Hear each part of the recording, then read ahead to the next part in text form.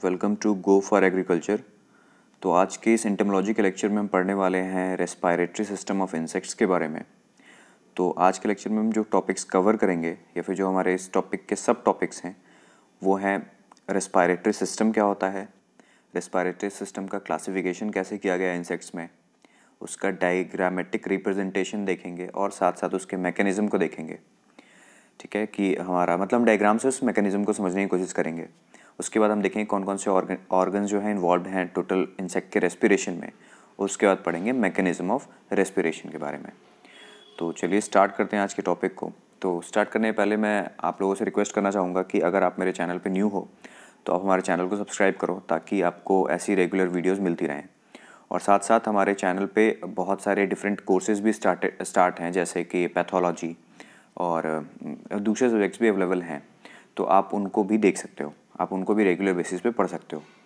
तो चलिए स्टार्ट करते हैं आज के टॉपिक को, जो हमारा पहला टॉपिक है इसमें, या फिर पहला सब टॉपिक है, वो है रेस्पायरेटरी सिस्टम का इंट्रोडक्शन तो रेस्पायरेटरी सिस्टम होता क्या है?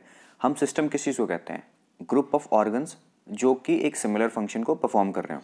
ठीक है? तो उसी तरीके से क्या है? एक रेस्पायरेटरी सिस्टम है, जिसका मेन फ़ंक्शन है रेस्पायरेशन में। ठीक है? तो अब जो रेस्पायरेशन है, उसका मतलब क्या होता है? सांस लेना। मतलब जो सांस लेने का जो प्रोसेस है, उसको हम क्या कहते हैं? रेस्पायरेशन कहते हैं। तो यहाँ पे एक वर्ड से कन्फ्यूज़न होता है, फिर ब्रीदिंग किसको कहते हैं? ठीक है? तो अगर ह्यूमंस में मैं समझाऊँ इस चीज़ को तो ब्रीदिंग मतलब क्या हुआ कि सिर्फ़ इन्हेलेशन ऑफ़ एयर और एक्सलेशन ऑफ़ एयर मतलब हम एक बार जो है एयर को इनहेल कर रहे हैं, ले रहे हैं और एक्जेल कर रहे हैं। इतने तक ही को हम क्या कहते हैं? ब्रीदिंग कहते हैं। लेकिन अगर इसी ब्रीदिंग में जहाँ पे ये एयर पहुँचा और एक्सचेंज साइड पे जाके जो एयर में ऑक्सीजन का एक्सचेंज हुआ सेल्स के बीच में और सी का जो एक्सचेंज हुआ अगर ये प्रोसेस को भी इन्वॉल्व करवा लेते हैं ब्रीदिंग के साथ साथ तो हमारा कंप्लीट रेस्पिरेशन उस, उसको हम कहेंगे मतलब उस कंप्लीट प्रोसेस को रेस्पिरेशन कहेंगे। तो बेसिकली रेस्पिरेशन का मतलब क्या हुआ? ब्रीदिंग प्लस एक्सचेंज और ब्रीदिंग मैंने क्या बताया? ब्रीदिंग मतलब इनहेलेशन ऑफ़ एयर और एक्सलेशन ऑफ़ एयर और इसको मैं बहुत प्रिसाइजली बोलूँ तो इनहेलेशन ऑफ़ क्या? ऑक्सीजन और एक्सेलेशन ऑफ़ सी ठीक है? तो अगर हम सबसे पहले रेस्पिरेटरी सिस्टम को ह्यूमन के कॉन्टेक्स्ट में समझेंगे, क्योंकि हमने इसे पहले पढ़ा हुआ है, और उसके बाद हम धीरे धीरे इंसेक्ट्स पे जाएँगे, ठीक है? तो अगर एक जो रेस्पिरेटरी सिस्टम है, उसके कंपोनेंट्स को देखेंगे तो रेस्पिरेटरी सिस्टम के जो कंपोनेंट्स हैं, वो हैं दो मेनली दो हैं। पहला पाथवे यानी क्या क्या पाथ है, यानी कहाँ कहाँ से एयर हमारे बॉडी में ट्रेवल करता है, और दूसरा एक्सचेंज साइट ठीक है, अगर ह्यूमंस में हम देखते हैं तो हमारा सबसे पहले एयर कहाँ आता है? नोज़ पे आता है। नोज़ से नॉस्ट्रल में जाता है। नॉस्ट्रल से फेरिंग्स रीजन होते हुए ट्रैकिया ट्रैकिया से ट्रैक्यूल्स और ट्रैक्यूल्स लास्ट जो एंड करता है एल्वियोलाई पे, जहाँ पे प्रॉपर हमारा एक्सचेंज ऑफ़ एयर होता है। मतलब ये जो है हमारा पाथवे है ह्यूमंस में। और एक्सचेंज साइट ह्यूमंस का क्या है? एल्वियोलाई जहाँ पे लास्ट एयर पहुँच रहा है। तो ह्यूमन के केस में बात करें तो पाथवे क्या हो गया? ये लंबा सा जो नोज़ से लेके एल्वियोलाई तक आ रहे हैं और एक्सचेंज साइड क्या हमारा? एल्वियोलाई है, जहाँ पे मेन गैसेस का एक्सचेंज हो रहा है। उसी तरीके से इंसेक्ट्स में अगर हम बात करें तो उनका भी दो कंपोनेंट है। यही कंपोनेंट होगा, क्योंकि कंप्लीट रेस्पायरेटरी सिस्टम का यही दो कंपोनेंट है। हो सकता है कि इसमें जो ऑर्गन्स इन्वॉल्व हैं या फिर सेल्स इन्वॉल्व हैं, वो अलग अलग होंगे, लेकिन कंपोनेंट्स दो ही होगा उनमें भी। फ़र्स्ट पाथवे दूसरा एक्सचेंज साइट तो ह्यूमंस में तो पाथवे और एक्सचेंज साइट हम समझ चुके हैं। सेकेंड जो है इंसेक्ट्स में तो उनका जो रेस्पायरेटरी सिस्टम है, उनका जो पाथवे होता है, वो होता है स्पाइरेकल्स ट्रेकिया और ट्रेक्यूल्स इसके बारे में हम डिटेल अभी जस्ट आगे लेक्चर्स में मतलब इसी लेक्चर में आगे पढ़ेंगे। तो स्पायरिकल्स ट्रेकिया और ट्रेक्यूल जो है, उसके पाथवे में आता है और दूसरा जो एक्सचेंज साइट है, वो आता है जो लास्ट ट्रेक्यूल है ना, वहाँ पे उनका एक्सचेंज होता है गैसेस का। तो आप इसको याद रखना, जो रेस्पायरेटरी सिस्टम का जो कंपोनेंट है, वो है स्पायरिकल्स ट्रेकिया और ट्रेक्यूल्स ठीक है? और जो एक्सचेंज साइट है, वो है लास्ट ट्रेक्यूल्स ठीक है? अब जो रेस्पायरेशन जो प्रोसेस है, उसमें जो मेन जो बेसिक प्रोसेस इन्वॉल्व होता है, जिसकी वजह से गैस एक्सचेंज होता है, उसे हम कहते हैं डिफ्यूज़न डिफ्यूज़न का मतलब क्या हुआ? किसी भी चीज़ का, या फिर कह सकते हैं बेसिकली जो हमारा एयर है, उसका जो ट्रांसफ़र उसके हायर कंसंट्रेशन से लोअर कंसंट्रेशन की तरफ़, जब ट्रांसफ़र होता है कोई चीज़ मतलब अपने हायर कंसंट्रेशन से लोअर कंसंट्रेशन की तरफ़, उसी प्रोसेस को हम क्या कहते हैं? डिफ्यूज़न कहते हैं. जैसे हम जो एयर अभी इनहेल कर रहे हैं, जैसे मैं जो ब्रीथ अभी एयर मैंने क्या करा? इनहेल करा। तो जो एयर अभी मेरे अंदर गया, ठीक है? उसमें ऑक्सीजन होगा। तो जो अभी मैंने एयर लिया है, उसमें ऑक्सीजन का कंसनट्रेशन क्या है? ज़्यादा है, ठीक है? और जो सेल्स हैं, ठीक है? उन्होंने रेस्पायर किया उस ऑक्सीजन को और सी को रिलीज़ किया है। तो मेरे बॉडी में सी का कंसनट्रेशन क्या है? ज़्यादा है। और जो मैंने बाहर से ऑक्सीजन लिया है, उसमें सी कम है ऑक्सीजन ज़्यादा है। तो देखो, बाहर वाले एयर में ऑक्सीजन ज़्यादा है तो ज़्यादा ऑक्सीजन बाहर में है, अंदर में कम है। तो ऑक्सीजन मेरे बाहर वाले एयर से कहाँ चला जाएगा? अंदर वाले एयर में चला जाएगा। मतलब वहाँ अंदर का जो एयर है, उसमें एक्सचेंज हो जाएगा। ऑक्सीजन वहाँ ट्रांसफ़र हो जाएगा। और जो सी है, जो सेल्स से जो निकला है, वहाँ पे सी ज़्यादा है। और जो बाहर से मैंने एयर लिया है, उसमें सी कम है। क्योंकि मैंने तो एयर लिया है ना तो वहाँ पे सी भी होगा ओ भी होगा। तो बेसिकली जो ओ है, उसका कंसेंट्रेशन मेरे बाहर वाले एयर में ज़्यादा था और सी कम था। तो सी अंदर ज़्यादा है तो अंदर वाले एयर से सी ओ कहाँ जाएगा? बाहर वाले। और मैंने एयर रिलीज़ करा मतलब एक्सपायर किया अभी, ठीक है? एक्सपायरेशन किया। तो क्या हुआ कि वो एयर क्या हो गया? रिलीज़ हो गया। तो मेन जो प्रोसेस इन्वॉल्व हो रहा है ना कि हायर कंसेंट्रेशन से एयर जो है मतलब ऑक्सीजन जो है, इधर से इधर जा रहा है और सी इधर से इधर जा रहा है। इसी प्रोसेस को हम क्या कहते हैं? डिफ्यूजन कहते हैं। ठीक है? अब ह्यूमंस में क्या होता है कि जब एयर फाइनली पहुँच जाता है एल्वियोलाई के पास, जहाँ पे एक्सचेंज होता था तो वहाँ से वो ट्रांसफ़र होता था ब्लड के पास। ठीक है मतलब ब्लड एल्वियोलाई के, से अटैच होता था ब्लड वेसल और वहाँ पे वो ब्लड में एयर चला जाता था और वहाँ से वो डिफरेंट डिफरेंट ऑर्गन्स को पहुँचता था। लेकिन अब हमें मेन तो इंसेक्ट्स के बारे में पढ़ना है तो इंसेक्ट में क्या होता है एयर जो है डायरेक्टली सप्लाई होता है ईच एंड एवरी सेल्स या फिर कह सकते हैं each and every organ of the body ठीक है? इसीलिए जो इनका जो सिस्टम है रेस्पायरेटरी सिस्टम वो डायरेक्टली अटैच होता है एक एक सेल के साथ। इसमें कोई भी इन्वॉल्वमेंट नहीं होता है किसका? किसी भी ब्लड या फिर जो इंसेक्ट में ब्लड नहीं कहते हैं हीमोलिम्फ कहते हैं तो इनमें हीमोलिम्फ का इन्वॉल्वमेंट होता ही नहीं है रेस्पायरेशन में। यानी यहाँ पे जो उनका ब्लड यानी हीमोलिम्फ जो है कंप्लीट उसका जो फ़ंक्शन है, वो सर्कुलेटरी सिस्टम का ही है। ठीक है? इसमें कोई भी रेस्पिरेशन में हीमोलिम्फ का कोई भी इन्वॉल्वमेंट नहीं है। ठीक है? तो एक बार आप रेस्पायरेटरी सिस्टम के डेफिनेशन को कह सकते हैं या फिर जो एक प्रॉपर जो जो कंप्लीट डेफिनेशन कहलाएगा, उसको देख लो। Respiratory system consist of air filled tubes और trachea which open at the surface of the thorax and abdomen through the paired spiracles मैंने पहला कंपोनेंट क्या बताया था? स्पायरिकल्स ठीक है? The muscular valves of the spiracle closed spiracles close most of the time openly open only at to allow and uptake the oxygen and escape of the carbon dioxide overall इस, इसका मतलब क्या है जो mechanism में देखेंगे? तो यहाँ पे मैंने जो डायग्राम दिखाया है यहाँ से मैंने कोशिश करी है कि आप ह्यूमन से इन सब चीज़ को कंपेयर कर पाओ। यहाँ से ये जो रहा इसका पाथवे है और यहाँ पे जो लास्ट ट्रैक्यूल होता है वहाँ पे उसका एक्सचेंज साइट होता है। ठीक है? अब हम मेन जो हम बात करने वाले हैं इंसेक्ट्स में। मैंने भी क्या बताया कि जो आ, हर ऑर्गन है इंसेक्ट का हर सेल है वो डायरेक्टली क्या होता है अटैच होता है उनके ट्यूब से। जहाँ पे क्या होता है? एक्सचेंज होता है बेसिकली एयर का। अब हम बात करते हैं, सबसे पहले मैंने इसका कंपोनेंट क्या बताया? स्पाइरेकल्स ठीक है? तो स्पाइरेकल्स क्या होता है? इंसेक्ट का जो बॉडी होता है ना, उसके लेटरल साइड पे, यानी साइड पे ओपनिंग्स प्रेजेंट होती हैं, जो कि एयर को एंटर कराने में हेल्प करता है मतलब बॉडी में एयर को लेने के लिए हेल्प करता है।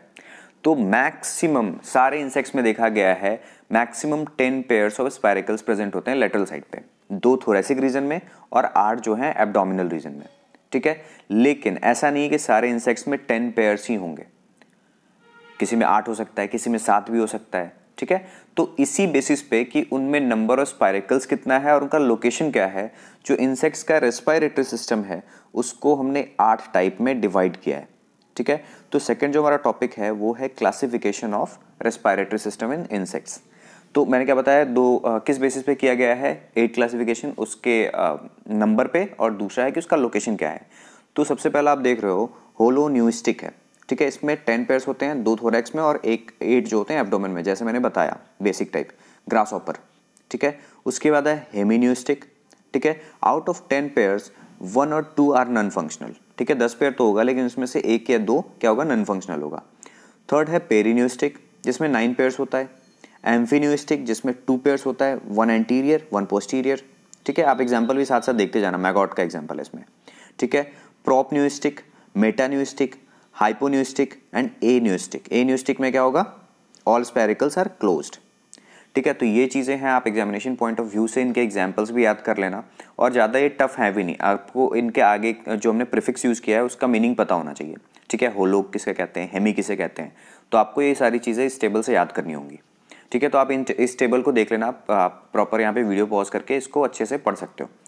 अब जो हमारा नेक्स्ट टॉपिक है, वो है इससे रिलेटेड डायग्राम इसको डायग्राम से समझते हैं। मैंने क्या बताया कि इंसेक्ट का जो लेटरल साइड होता है, वहाँ पे ओपनिंग्स प्रेजेंट होती हैं।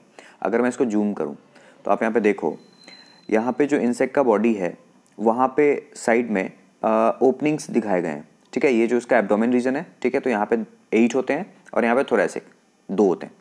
तो ये ओपनिंग को ही हमने क्या बोला है? स्पायरिकल्स का है, ठीक है? और स्पायरिकल्स डायरेक्टली कनेक्टेड होते हैं ट्रैकियल ट्यूब से, ठीक है? ट्रैकियल ट्यूब का भी कॉम्पोनेंट है। ट्रैकियल ट्यूब में ही ट्रैकिया आएगा एट्रियम आएगा, ये आगे हम देखेंगे, ठीक है? तो बेसिकली आप यहाँ जो देख रहे हो, जो ओपनिंग है, उसी को हम क्या कहते हैं? स्पायरिकल्स कहते हैं। अब इसको इनलार्ज करके यहाँ पे हमने दिखाया है, ठीक है? तो आप इसको समझने की कोशिश करना।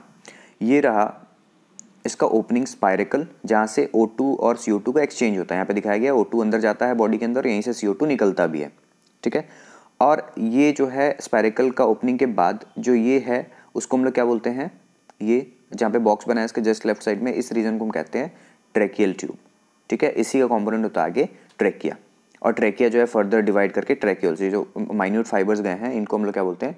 ट्रैक्योल्स कहते हैं। ठीक है? और फाइनली जो ट्रैक्यूल्स हैं वो डिफरेंट डिफरेंट हर सेल से क्या होते हैं? अटैच होते हैं। तो ये इसका एक डायग्रामेटिक रिप्रेजेंटेशन है। यहाँ पे जो एक सेकेंड डायग्राम है ये क्या लिखा है? Diagrammatic representation in T S ठीक है? ट्रांसवर्स सेक्शन में दिखाया गया सामने से इंसेक्ट्स को का, काटा गया तो आप देखो ये रहा स्पायरिकल जो बॉडी के साइड से है। ठीक है? ट्रैकियल ट्यूब ट्रैकियल ट्यूब से ट्रैकिया निकला है। मेन जो ये लाइन है इसको ट्रैकिया ही बोलेंगे। ट्रैकियल ट्यूब का एक कॉम्पोनेंट है ट्रैकिया फिर ट्रैकिया जो लेटरल साइड से निकले हुए ट्रैक्यूल्स निकले हैं, जो डिफरेंट बॉडी ऑर्गन से अटैच्ड हैं, जैसे यहाँ पे नर्व कॉर्ड दिखाया गया है हर्ट दिखाया गया है, ठीक है? तो ये हमारा हो गया ट्रांसवर्स सेक्शन और यहाँ पे जो हमारा है, वो लेटरल सेक्शन दिखाया गया है. लेटरल सेक्शन में भी आप इस चीज़ को देख सकते हो, ठीक है? साइड साइड जो ग्रीन डॉट्स बनाए हुए हैं, ये क्या है हमारे? स्पायरिकल्स हैं, ठीक है? यहाँ पे थोरेसिक स्पायरिकल लिखा हुआ है, ठीक है? एबडोमिनल लिखा हुआ है. तो ये हमारा स्पायरिकल हो गया, जो कि स्पायरिकल देखो नर्व कॉर्ड्स वगैरह से क्या है? कनेक्टेड है ब्रेन से कनेक्टेड है. तो इस डायग्राम से मुझे यही समझाना था कि उनका अरेंजमेंट क्या है और किस तरीके से इनके कॉम्पोनेंट्स मतलब बॉडी में फिट होते हैं।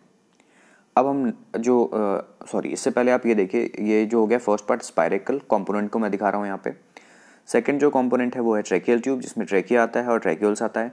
और जो इसमें इंपॉर्टेंट है यहाँ पे वो है एपिथीलियल सेल मैंने अभी आपको याद होगा कंपोनेंट में एक्सचेंज साइट में बताया था कि लास्ट ट्रैक्यूल तो लास्ट ट्रैक्यूल में एक्सचेंज क्यों होता है? क्योंकि वहाँ पे स्पेशल टाइप ऑफ़ सेल्स पाए जाते हैं। एपिथीलियल सेल्स जो कि क्या होते हैं, बहुत पतले मतलब उसको अगर मैं नाम दूँ तो पेवमेंट एपिथीलियल होती एपिथीलियम होती है, जो कि ईजिली एक्सचेंज में हेल्प करता है। ठीक है? तो ये जो है एपिथीलियल सेल्स स्पेशली प्रेजेंट होते हैं उनके एक्सचेंज साइट्स पे, जो अंदर से ट्रैक्यूल ट्यूब को या फिर ट्रैक्यूल्स को क्या करते हैं लाइन करते हैं। अब जो हमारा नेक्स्ट टॉपिक है, वो है ऑर्गन्स इन्वॉल्व तो मैंने पहले ही बताया था, इनमें तीन ऑर्गन्स इन्वॉल्व होते हैं, सबसे पहला है स्पायरिकल्स दूसरा है ट्रेकिया और थर्ड है ट्रेक्यूल्स तो स्पायरिकल किसको कहते हैं? Opening of trachea and and have a chamber मतलब स्पायरिकल क्या है? ओपनिंग ऑफ़ ट्रेकिया है, यानी ट्रेकियल ट्यूब कह सकते हैं एंड हैव ए चैम्बर और atrium with the opening and closing mechanism called valve मतलब स्पायरिकल में वेल्व पाए जाते हैं इंपॉर्टेंट चीज़ यहाँ ध्यान रखना है. This regulate air passage and minimize water loss ठीक है? Each spiracle is set in sclerotized cuticular plate called a peritreme इसको हम अभी डायग्राम से देखेंगे पेरीट्रीम किसको कहते हैं? सेकेंड जो कॉम्पोनेंट है, वो है ट्रेकिया जो कि स्पायरिकल को स्पायरिकल जिसको गाइड कर रहा है, ठीक है? मतलब आगे से रेगुलेट कर रहा है। Trachea are invagination of the epidermis the ringed appearance of the trachea is due to the spiracle ridges called taenidia ये भी हम देखेंगे अभी। थर्ड जो है ट्रेक्यूल्स है। Tracheoles are less than one micrometre in diameter they end blindly blindly कहने का मतलब है कि जैसे मान लो यहाँ से एक ट्यूब गया, मैंने पैरेलल ऐसे एक यहाँ पे ट्यूब बनाया सॉरी यहाँ पे क्या है? ये रहा एक ट्यूब ठीक है? तो अगर ट्यूब आगे जाके राउंड ऐसे ब्लाइंडली बंद हो जाए, आगे आगे जाके कर्वली ऐसे बंद हो जाए, इसको हम लोग कहते हैं ब्लाइंडली हो जाना, ठीक है? तो ये क्या है? ब्लाइंडली होता है in blindly and closely contact the respirating respiring tissues उनके साथ क्या होता है? कॉन्टैक्ट में होता है, जो भी टिश्यू रेस्पायर कर रहा है, यानी जहाँ पे एक्सचेंज हो रहा है गैसेस का। Gases exchange occurs across tracheoles जो चीज़ें मैंने पहले बता दी हैं। अब यहाँ पे आप इसको डायग्राम से समझो, ठीक है? ऑर्गन कौन कौन से इन्वॉल्व हो रहे हैं? सबसे पहला जो बॉडी ये जो है हमारा बॉडी वॉल है, ठीक है?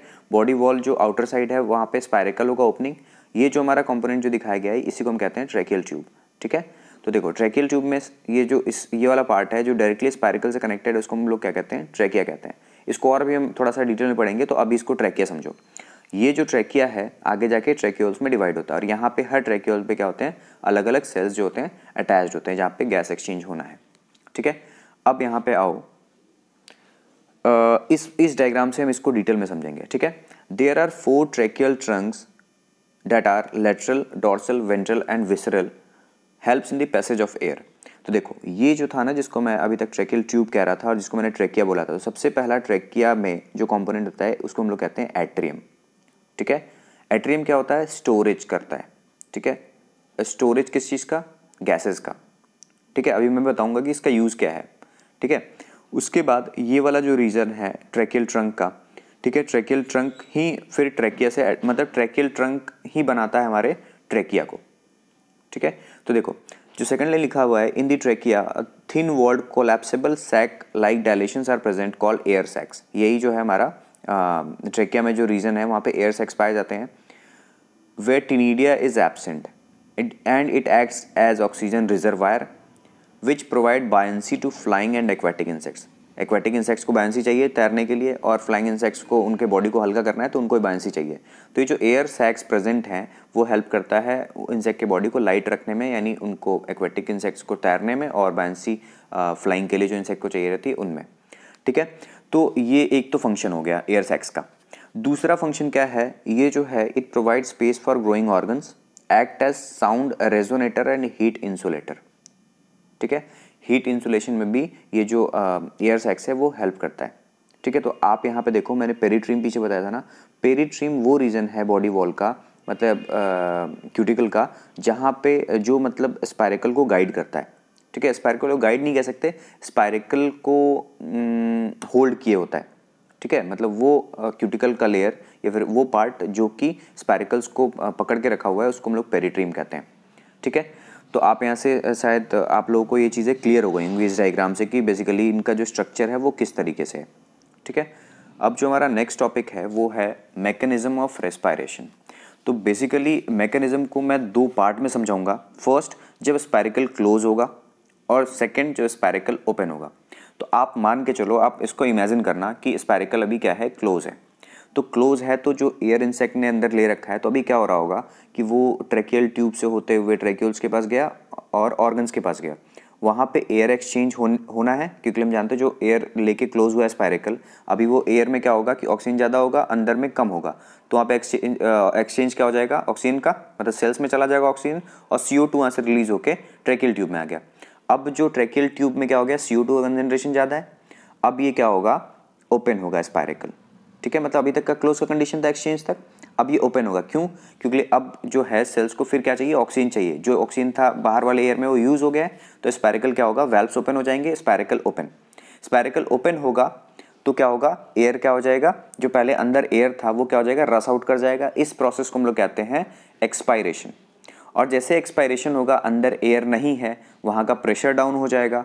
तो बाहर का प्रेशर हम जानते हैं वन एम प्रेशर ज़्यादा है तो बाहर से एयर क्या कर जाएगा? अंदर की तरफ़ रस कर जाएगा। और इस प्रोसेस को हम लोग क्या कहते हैं? इंस्पिरेशन कहते हैं। इंस्पायरेशन कहते हैं। ठीक है? तो ये जो प्रोसेस है इंस्पिरेशन और एक्सपायरेशन इसको हम ब्रीदिंग कहते हैं। और जो फाइनली जाके एक्सचेंज हो रहा है ट्रैक्यूल्स में, उस प्रोसेस को भी इन्वॉल्व करा लें। तो उसको हम लोग रेस्पायरेशन कहते हैं कंबाइंड तो आई होप ये मैकेनिज्म भी समझ में आ गया होगा। स्पेशल काइंड ऑफ़ इंसेक्ट्स जैसे जो हमारे इंडो पैरासाइट्स हैं, या फिर ऐसे इंसेक्ट जो पानी के अंदर रहते हैं। तो उनमें तो स्पायरिकल्स ओपन नहीं हो सकता क्योंकि अगर वो ओपन हुआ तो हमारा एयर के साथ साथ वाटर भी चला जाएगा। तो उनमें जो उनका जो रेस्पायरेटरी सिस्टम है, वो थोड़े से स्पेशली डिज़ाइंड होते हैं। उनमें क्या होता है, जो उनका ट्रैकिया है ट्रैकिया क्या होगा, अपने आप को इतना माइन्यूटली डिवाइड कर लेगा और ऐसा नेटवर्क बनाएगा कि वो सारा ट्रैकिया डायरेक्टली उनके सरफेस से अटैच्ड हो जाएगा। मतलब उनका जो क्यूटिकल लेयर है, उनमें जो ट्रैकिया है सारे मतलब हर रीजन में जाके वो ट्रैकिया अटैच हो जाएगा और एक नेटवर्क बना लेगा। और क्या होगा, वहाँ पे स्पायरिकल्स एबसेंट होंगे और वहाँ पे मतलब स्पायरिकल्स होंगे भी तो नॉन फंक्शनल होंगे, ठीक है? और जो मेन जो रेस्पिरेशन में जो गैस एक्सचेंज होगा, वो कहाँ होगा? उनके क्यूटेनियस स्किन से होगा, ठीक है? या फिर क्यूटिकुलर जो रीजन लेयर है, वहाँ से उनका क्या होगा? मेन एक्सचेंज ऑफ़ एयर होगा मतलब स्पायरिकल्स वहाँ पे नॉन फंक्शनल होंगे। तो ये स्पेशल सिस्टम प्रेजेंट होता है हमारे इंडो पैरासाइट जो कि हमारे बॉडी के अंदर रहते हैं, या फिर एक्वेटिक इंसेक्ट्स में। एग्ज़ाम्पल जैसे हम गिल्स कह सकते हैं, ठीक है गिल वाले रीजन में जो मेनली इन्वॉल्व होता है ऐसे इंसेक्ट्स में या फिर ऐसे ऑर्गेनिज्म में जो कि वाटर के अंदर रहते हैं। तो आई होप आज का लेक्चर सबको क्लियर है और ये पूरा मैकेनिज्म है रेस्पायरेटरी सिस्टम इंसेक्ट्स में कैसा है, ये सारा चीज़ क्लियर हो गया होगा। For watching this video till then stay tune आप हमारे इंस्टाग्राम चैनल को भी फॉलो कर सकते हो और हमारे गो फॉर एग्रीकल्चर चैनल को आप यूट्यूब पर सब्सक्राइब करो ताकि आपको ऐसी रेगुलर वीडियोज़ मिलती रहें। जिनको भी इस लेक्चर की पी डी एफ़ फिर पी चाहिए तो हमारे Telegram channel go for agriculture पर जाके इसको डाउनलोड कर सकता है। तो चलिए मिलते हैं नेक्स्ट लेक्चर में। यू